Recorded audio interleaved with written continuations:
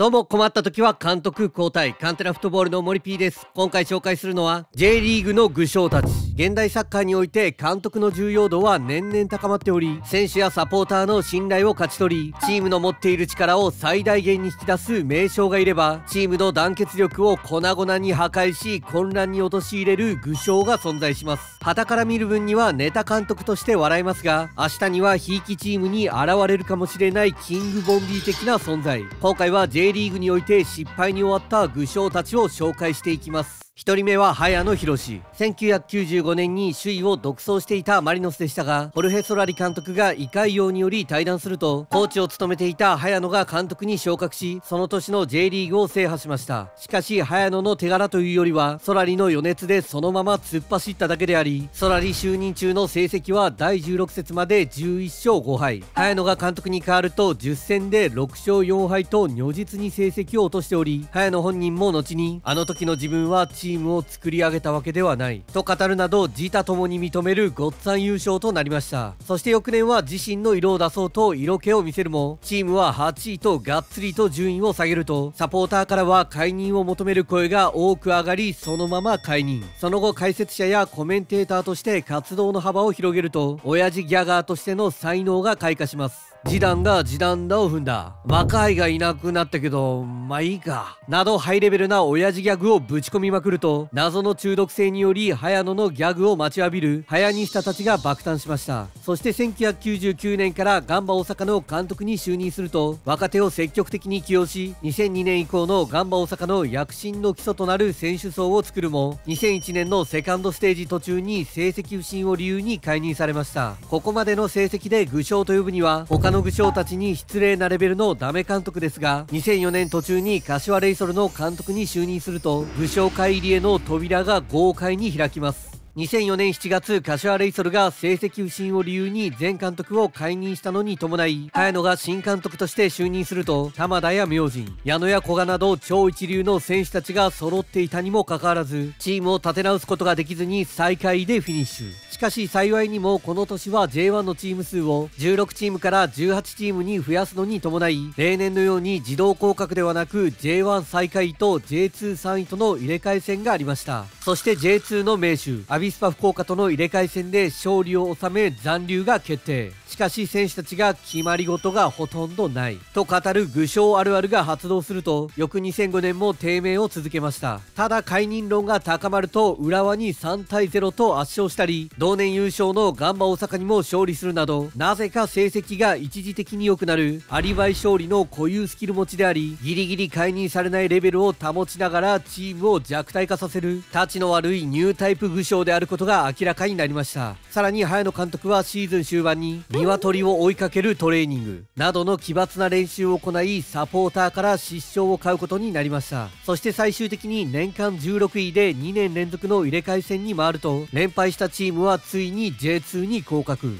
この責任を取る形で早野監督は柏から去っていきました。その後 NHK でのサッカー解説を経て2007年に古巣であるマリノスでの現場復帰を果たしましたがこれまでの具象っぷりをこれでもかと見せつけられたサポーターは当然早野の監督就任に反発。クラブに対して抗議のメールが700通余り届いたと言われており年間チケットの不買運動までも行われました。そんな声も虚しく監督の座についた早野はプレスを前面に押し出したサッカーを採用しハードワークをしない選手は起用しないとも発言しましたが3月のシーズン開幕直後から選手内からも監督の手腕に疑問を持つコメントが出てきており公式戦6連敗というチームタイ記録を樹立するなど好不調の差が大きく現れたシーズンとなりました。また2007年3月に行われた大宮アルディージャ戦の試合後にはトレーニングのパフォーマンスの40%も出せないことにびっくりした。というコメントを出しましたが試合前日までの練習風景を見ていた一部サポーターからは練習の内容が100%そのまま出ただけであり早野のコメントは単なる責任逃れという声も上がるなどサポーターからの信頼を失っていました。そして最終的には前年を上回る7位で終わり多くの若手を抜擢し成長させましたが目標の3位以内に届かなかったため契約更新されずにチームを去ることになりました。その後は解説者として活躍しておりり20年間で4000回以上もダジャレを言い続けそのほとんどをスルーされるという鋼の心臓の持ち主でありこれまでの経歴を見るとワールドカップに合わせて現場を離れ解説者に戻ってきていることから監督としての責務よりもダジャレを言うことに命を懸けているのかもしれません。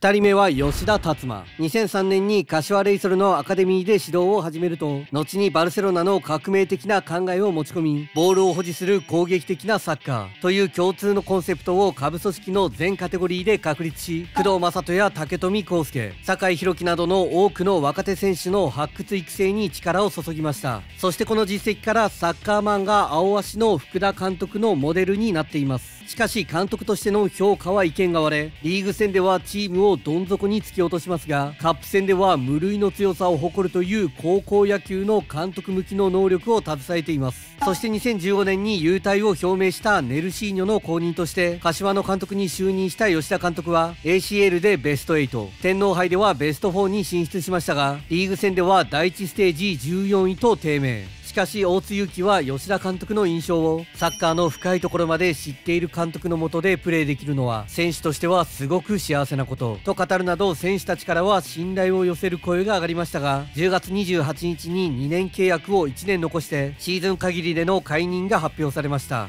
そして2016年より新潟の監督に就任すると新潟が長年積み上げてきた粘り強く守ってカウンターを狙う形からボール支配率を高めて試合の主導権を握る形へと全く違うスタイルを選手たちに要求しました。しかしチームの特性を生かすというよりは自身の哲学を押し付けた形となりチームはファーストステージ13位セカンドステージ15位とともに低迷しセカンドステージ第13節の鹿島戦で敗れ今季3度目の4連敗を喫したところで解任が発表。チームを暫定監督として引き継いだ片渕コーチは新潟らしさを引き出す堅守速攻のサッカーに回帰すると15位を確保し残留を果たしましたが2004年の J1 昇格以降最も降格という2文字が現実味を帯びたシーズンとなりました。そして2チーム連続で解任されそろそろトップチームの監督として結果を残したい吉田監督は2017年にバンフォーレ甲府の監督に就任。すると長年守備一辺倒とも言われてきたチームをまたしてもボールを保持するスタイルに変変革する哲学ハラスメントによりチームの成績は上がらずに J2 に降格。さらに2018年シーズンは1年での J1 復帰を宣言しましたが11試合終了時点で2勝5分け4敗。勝ち点11の16位に低迷しまたしても解任。これにより解任ハットトリックを達成した吉田監督は海外へと活動の場を移し2019年5月にシンガポール代表監督への就任が発表されました。しかしコロナ禍により家族との時間を優先し両者合意の上で退任すると2022年1月に再び甲府の監督に就任。前年にリーグ戦の最終盤まで J1 昇格争いに加わったさっきのクラブを引き継ぎ大きな期待を背に指揮を取りましたがまたしても吉田監督の固有スキルが発動します。リーグ戦では J1 への昇格どころか J2 残留争いに巻き込まれるも。天皇杯では J1 勢を破って決勝に駒を進めサンフレッチェ広島との死闘の末クラブ初の3大タイトル獲得に導きました。しかしリーグ戦では11戦勝ち星がなく2試合を残し18位に低迷するなど J3 降格がちらつく順位になるとフロントは吉田監督をどう評価していいか頭を悩ませた結果シーズン終了後の解任に踏み切りました。そして解任が決まった吉田田監督でしたが町田戦では12試合ぶりの勝利を収め試合後のインタビューに臨むと本当に全員でこの前日本一になったばかりですけど天皇杯で勝ったのは全員の力ですしそれを今日は示そうとピッチに立って全員で示せて本当に嬉しく思います。僕自身も遠くの空に届けたいこともあって本当にこの試合で勝ちで終われてよかったです。と語りその目には涙が光っていました。吉田監督が感極まった理由は柏アカデミー時代の教え子である工藤正人がこのの時水頭症の診断を受けて入院しており ICU にて治療に専念していることが発表されていたためその涙は教え子のことを思ったものでした。そんな吉田監督は今年8月に徳島の監督に就任すると J3 降格がちらつく19位に沈むチームを15位に引き上げ残留に導きました。多くの選手に慕われる人間力と育成力は本物でありこれから名称に変貌を遂げてくれるでしょう。最後はミルトン・メンデス2016年に柏レイソルの監督に就任したミルトン・メンデスは目立った実績はないものの日本での仕事を熱望し欧州指導者ライセンスで最高レベルのウェファプロを持つということで注目されました。そしてレンタルで復帰した田中純也や中村康介ディエゴ・リベイラなどを補強しさらには甲府から完全移籍で稲妻純也を獲得。そして恒例の柏レイソルスタートミーティングでは柏から世界へ。ウニズウンウニウニドス